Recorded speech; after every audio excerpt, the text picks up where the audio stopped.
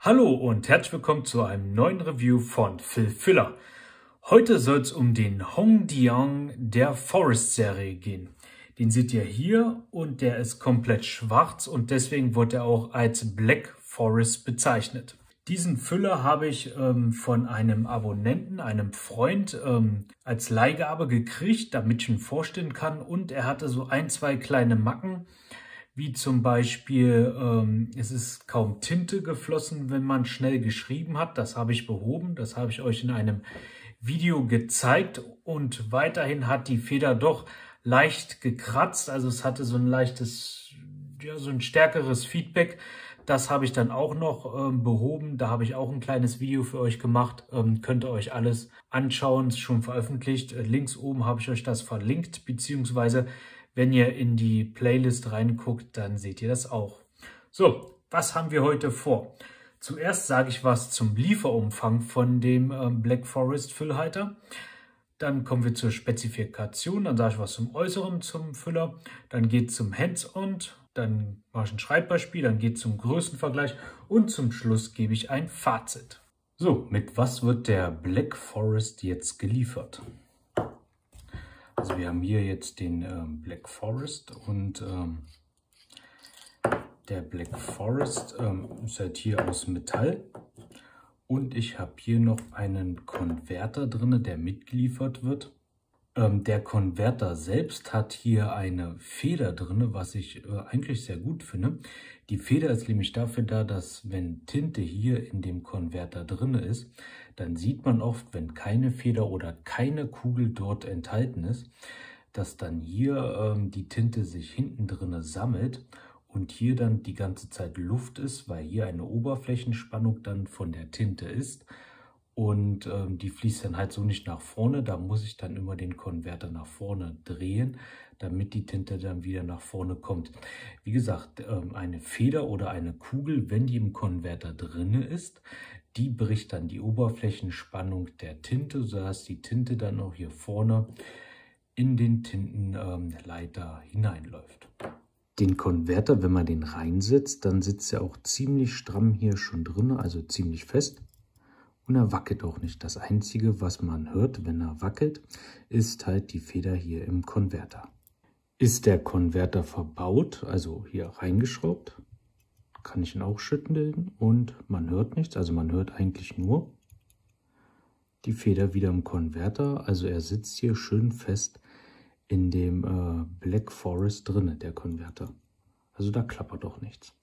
Jetzt werde ich das nochmal testen. Ich habe hier weil sich mein Freund ähm, schwarz gewünscht hat, werde ich dann jetzt hier zwei schwarze Tintenpatronen einsetzen und dann schauen, wie es mit den beiden schwarzen Tintenpatronen aussieht. Ja, leider passen die Tintenpatronen nicht, die normalen Standardpatronen, denn die sind zu schmal.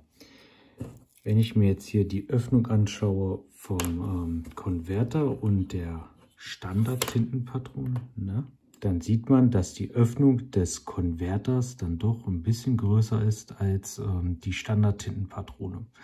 Das heißt jetzt für mich, dass ich ein ähm, Glas mit schwarzer Tinte heraussuchen muss, befiltern den Konverter und dann gibt es halt äh, keine Tintenpatrone, sondern aus dem Glas die Tinte. So, kommen wir kurz zu den Spezifikationen.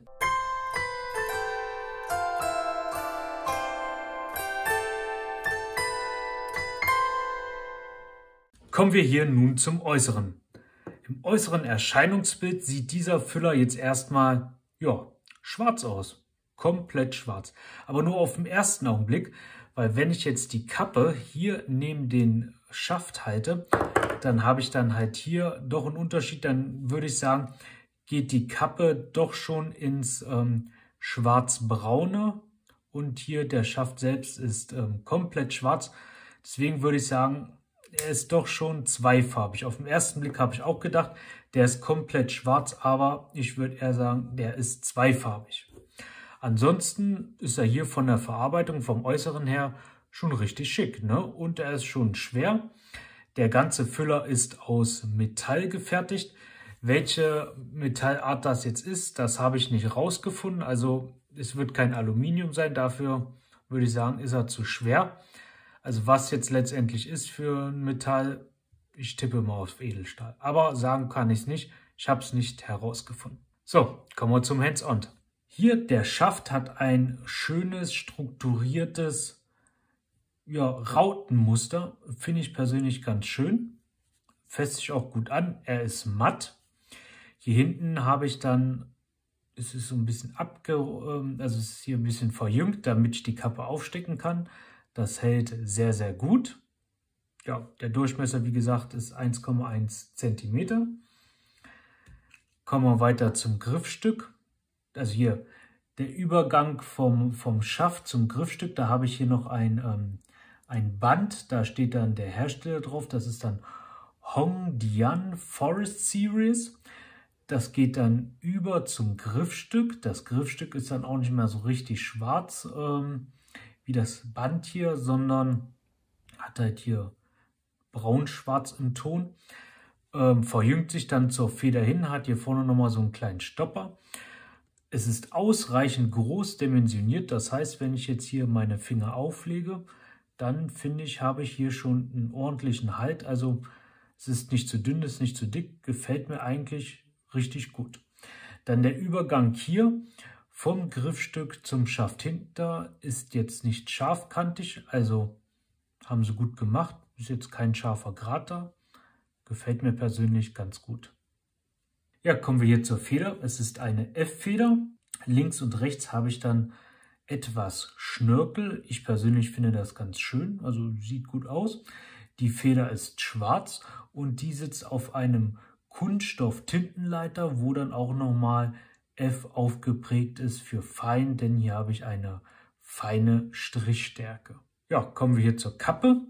Die Kappe hat ein äh, Kunststoff-Inlay, das heißt, wenn ich jetzt die Kappe zusammenstecke, dann dichtet die ab und der trocknet dann auch nicht aus. Ich hatte den jetzt ein paar Tage ruhig liegen und ähm, er ist nicht ausgetrocknet. Der hatte dann keine Anschreibschwierigkeit, nachdem ich ihn mal bearbeitet habe und äh, man konnte auch noch sofort losschreiben. Hier habe ich dann den Clip. Der Clip, der sitzt bombenhart, also richtig fest. Also er ist nicht dazu geeignet, ähm, den Stift jetzt irgendwo festzukleben, äh, festzustecken. Also es ist sehr, sehr schwergängig. Ist dann halt eher so als Roll-Stop gedacht. Neben dem Clip habe ich dann hier zwei ja, so angedeuteten Bänder nochmal drauf und hier oben an der Kappe habe ich dann auch noch hier ähm, ja, umliegend hier so ein paar Striche, sieht optisch ganz schön aus. Und das Ganze mündet dann hier in dem Logo von Hong Dian, das hier nochmal aufgesetzt, das ist dann hier, ja, es ist so ein, so ein, so ein Gummifropfen, würde ich mal sagen, wo drunter dann das Bild liegt ähm, von Hong Dian, das ist dann hier um aufgeklebt, sieht, sieht recht gut aus. Ähm, vom Material her muss ich sagen, ähm, lässt sich der Hongdian gut anfassen. Also er, er, fühlt sich schon wertig an. Er ist auch relativ ähm, schwer, also er liegt gut in der Hand. Man kann die Kappe, wie gesagt, aufkeppen. Sie rutscht auch nicht ab. Gefällt mir ganz gut. Wenn ich ihn aufkeppe, dann ist er doch relativ lang. Man merkt schon, der Schwerpunkt liegt dann hier mit Kappe im hinteren Bereich, beziehungsweise, ja doch, liegt im hinteren Bereich, er kippt nach oben. Und wenn ich die Kappe abmache, dann, was mir persönlich immer so gefällt, liegt die Kappe dann hier schön auf meinem Mittelfinger auf und ich brauche dann nicht so viel Anpressdruck zu geben. Wobei bei diesem Modell, zeige ich später, muss ich doch ein bisschen fest aufdrücken, damit auch noch Tinte herauskommt. Das Griffstück ist hier verschraubt mit dem Schaft und ich muss sagen, der Gewindegang ist echt gut gemacht. Also das hätte ich jetzt hier bei so einem chinesischen Füller nicht gedacht, dass das Gewinde so gut ist. Also es kratzt jetzt nicht, es hat schönes Spiel, es schließt fest. Also es ist einfach, das ist gut gemacht. Ich habe andere chinesische Füller da, da kratzt es richtig, also knackst richtig, wenn ich die beiden Teile zusammenschraube. Aber hier, doch, ist recht gut gemacht. Kommen wir zu einem Schreibbeispiel. Ich habe hier den Hong. Oh. Dian, da sieht man schon, wenn man nicht richtig aufdrückt, dann kommt nicht genug Tinte raus. Forest Series. Und der Ganze wird tituliert im Internet auch als Black Forest.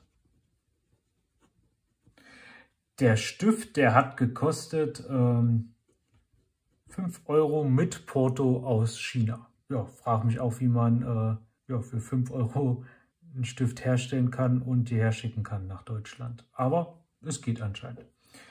Äh, ich habe eine F-Feder hier drin.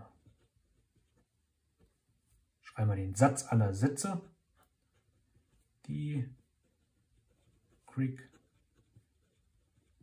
Brown Fox jumps over the lazy dog.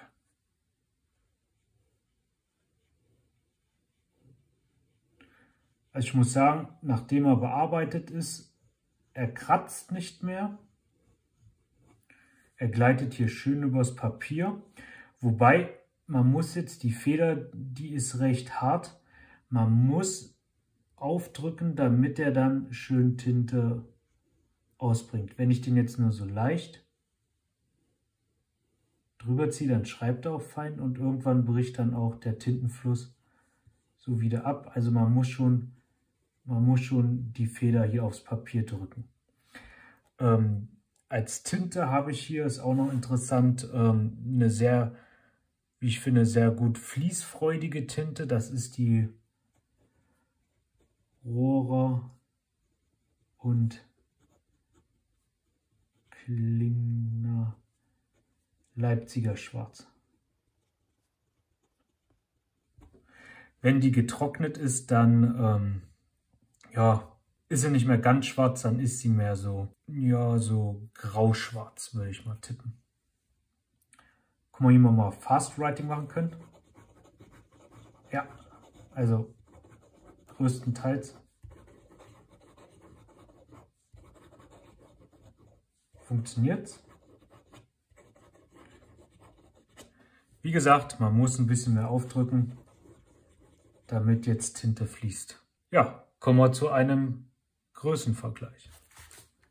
Hier habe ich den Lamy All-Star, den Hong Diane Black Forest, den Kaweco Perkeo, den Twispy Eco, den Pelikan M805, den Platinum Preppy, den Schneider Ray und den Kaweco Sport.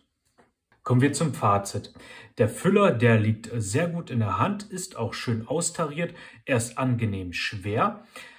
Was mir jetzt nicht so gut gefällt, ist die Feder. Also die Feder, die ist doch relativ hart. Das heißt, man muss mehr Druck auf die Feder ausüben, damit er schreibt. Und die Feder hier im Speziellen musste ich nachbearbeiten, dass die jetzt so schreibt, wie sie jetzt schreibt. Ansonsten der Füller, wenn man ihn anfasst, also man hat ein gutes Gefühl, also von der Haptik her gefällt er mir ganz gut. Das Material ist auch gut ausgewählt. Also für 5 Euro kann man jetzt nicht viel falsch machen. Wenn man ihn jetzt direkt in Deutschland bestellt, dann kostet er zum Beispiel 13 Euro. Aber dieser hier, der kommt direkt aus China für 5 Euro. Muss man für sich jetzt, ähm, für sich selbst wissen, ob man jetzt unbedingt einen Füller aus China importieren möchte, äh, CO2-Bilanz und so weiter. Aber an sich kann man den Füller hier schon empfehlen. Das Einzige ist halt die Feder, da kann man Glück haben, da kann man Pech haben. Hier ist jetzt die Feder nicht so schön, aber wie gesagt, ich habe einen zweiten schon mal probiert. Da war die Feder jetzt besser, aber sie war auch relativ hart man könnte vielleicht schauen, ob man jetzt die Feder vielleicht wechseln kann. Es gibt zum Beispiel von Caveco, die haben auch komplette schwarze Federn. Ob man die Feder jetzt, äh, wenn man die jetzt hier rauszieht, ähm, also man kann ja die hier anfassen und kann sie rausziehen, ob jetzt hierfür ähm, eine Feder von Caveco passt. Also hier zum Beispiel habe ich jetzt hier den Perkeo. Naja, ja, müsste man mal probieren, ob man die Feder hier ähm, wechseln kann. Mache ich jetzt hier nicht, weil es nicht äh, mein Füller ist. Und ähm, hier vom Perkeo Da kriegt man ja äh, nur das Griffstück so zu kaufen ähm, von dem ähm, per Kio als Nachkauf. Also da kriegt man jetzt hier nicht die Feder von Caveco, aber hier kann man natürlich auch anfassen und kann den Tintenleiter mit der Feder rausziehen. Das heißt, man müsste sich jetzt hier ein Griffstück kaufen in, äh, für schwarz. Also die haben von Perkeo auch einen komplett schwarzen und müsste dann hier die Feder einbauen könnte vielleicht sogar funktionieren. Also so vom, vom Feeling her ist äh, schön schwer, gut austariert. Kann man so eigentlich kaufen, um mal zu schreiben. Ich würde ihn jetzt nicht ständig benutzen, weil mir da die Feder zu hart ist. Ich mag dann lieber Federn, die ein bisschen weicher, smoother sind, die ich einfach bloß aufsetze und dann schreibt der Füller schon. Finde ich persönlich attraktiver. Aber ich hoffe, es war ein schönes Review für euch. Ihr könnt ähm, dann eure Kaufentscheidung davon ableiten. Wenn es euch gefallen hat, lasst einen Daumen hoch da. Ähm, falls ihr noch Fragen habt, bitte ab in die Kommentare. Ja, vielen Dank fürs Zusehen und wir sehen uns beim nächsten Mal. Macht's gut, ciao und bis denn.